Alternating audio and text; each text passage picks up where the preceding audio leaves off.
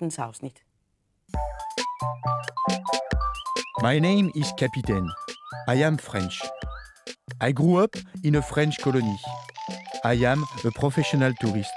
I have always enjoyed to travel, to collect knowledge, take photos, shoot video.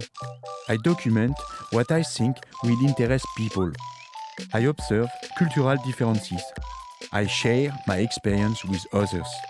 Denmark is one of my most exotic destinations. It was great to be in Denmark. At least a country where I could do things in a free way, without guilt, without fear, without being judged.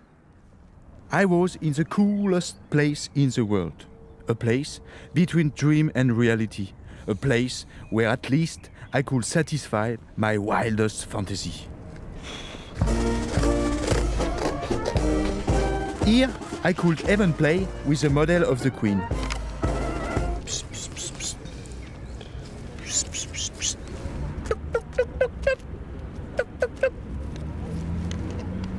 You know where is the beach in Denmark? Uh, in this?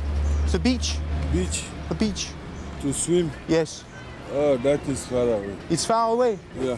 It was also exciting to be able to use the center of the city as a beach to read, relax, and sunbath. It's a nice beach. Oh, yes, it is. Very warm. Yes. Thank you.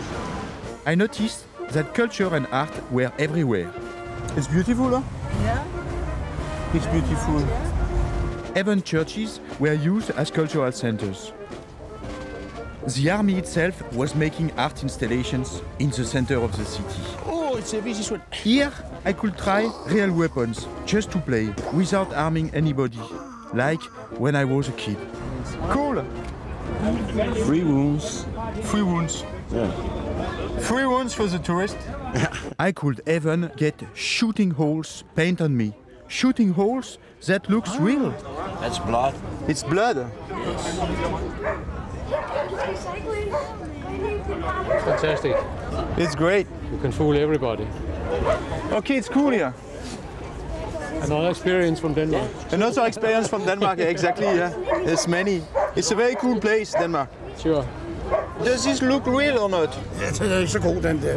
Jeg taler ikke det sprog. It look good. Yes, it's look very Okay, thank you very much. This is dust from the explosion or No, it's, Ah, it's a burning. burning. Which taboo the Danish have? Sorry? Which taboo? What is taboo in Denmark? It's taboo. Taboo. Taboo. Yeah, some. I don't think we have anyone. You don't Just have to taboo. be uh, friendly to each other. Yes. I think that's the taboo like the rest of the world. Trying to to help each other as good as we can. I show. This is burning hole. He looks funnier. Kan du lige løfte en lille smule? Sådan der. It's a shooting hole. Yes, the shooting. Okay. Yes, Thank you very much. nine millimeter. Yes. Nine millimeters. Oh no, oh, it's all right. It's inside. Don't worry. It's only seven. it's nine. Nothing to worry about. Oh, it's fun. It was such a great trip that I even suspected the tourism office to have organized this event just to satisfy my fantasy. Excuse me, are you Mr. and Mrs. Uh, Mr. and Mrs. Hansen? No. No, sorry. I made a lot of samples of my burning wounds so I could send them as postcards. Everything was so cool. Everybody was so open minded that I asked myself if what I was living was real.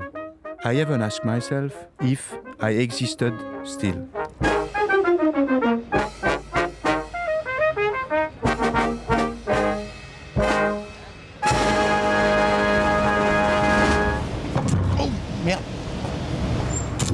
Sorry. It's it's like the door in Denmark. It's normal to Two? to The door? yes. What? It's Ah, sorry, I didn't see. without having my life taken in charge by a public service like the army. I stopped existing really. As a single person out of the group, I was invisible. I was just some air de Paris, floating around freely. I experimented to be the invisible man. Look. Look at me. Look at. Look. Look. Look at me. Look at me. A bit worried about my new invisible aspect, I decided then to make a test. Excuse me, can you see me? Excuse me, do you see me? Do, do you do you see me?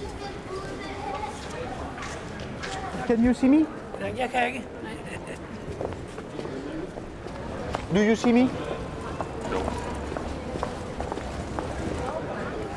Uh, do you see me?